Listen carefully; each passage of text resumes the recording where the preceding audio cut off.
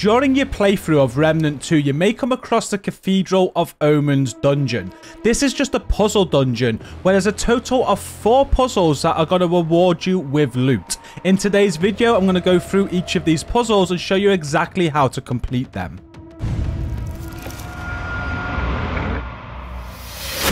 Before we get into it, if you do enjoy today's video, please give it a like and a share to support it, and subscribe for more content, I'd appreciate it, thank you.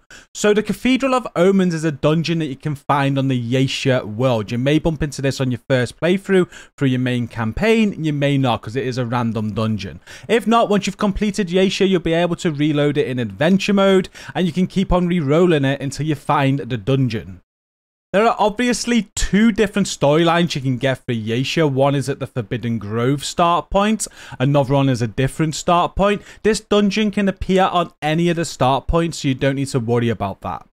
When you find the dungeon, you'll notice in the central area that there's this big sort of structure. You're going to find three levers that you can pull, which will alter this structure and change the pattern that is on the floor. And there's a couple of doors that are locked. If you have a look around, you'll find this note on the floor, which is a clue to how the puzzle works.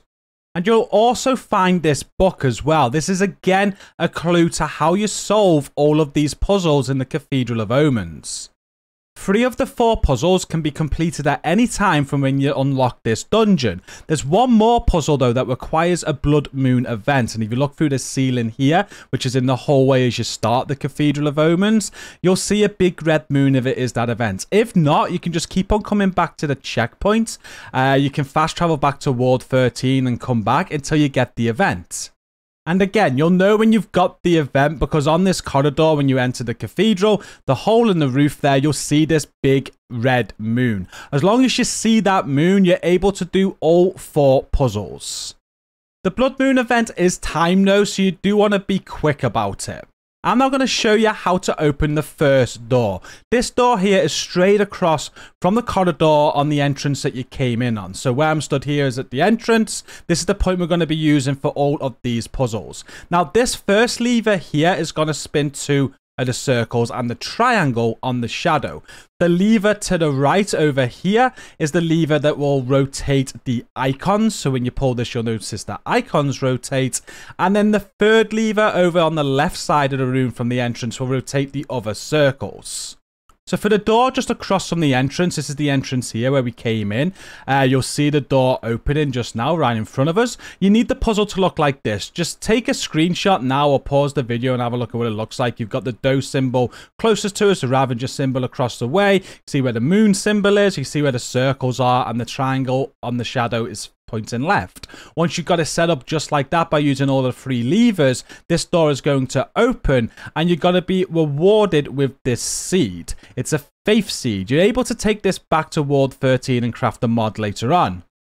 You'll just need to visit Ava at Ward 13 she'll be able to craft you the Astral Burst weapon mod for that Faith Seed, some Lumenite Crystal, and some scrap. And what it does is it fires a short range burst of 7 star fragments, which deal 35 damage each. Fragments bounce off the walls up to 3 times, dealing 35% additional damage per bounce.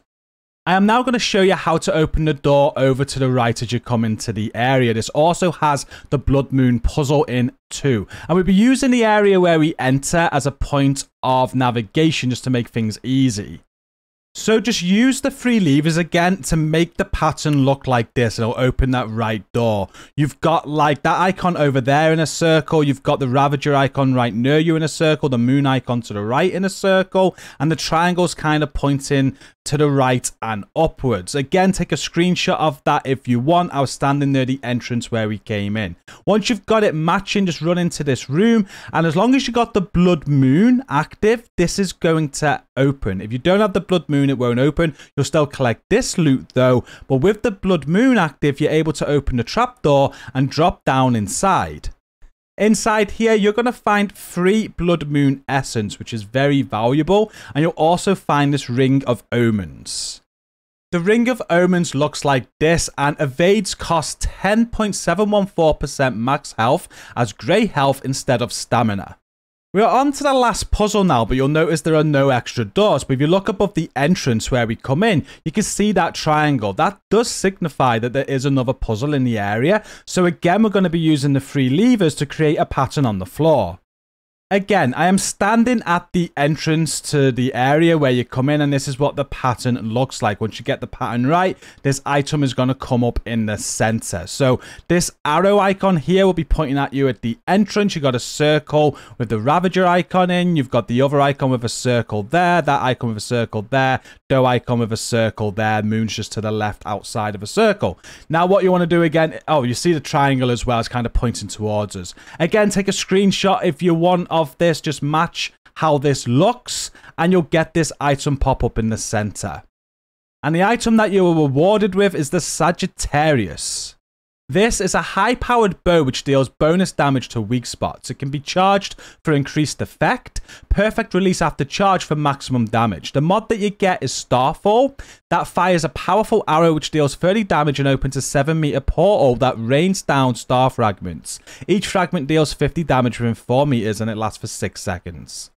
And that is every puzzle that is in the Cathedral of Omens. I hope this video has been helpful. I chose to use like the entrance point to the area as a point of navigation just because it can get a little bit complicated. So as long as you are standing at the entrance points where, where you come in, you just need to match what I've shown you on screen for each of the puzzles.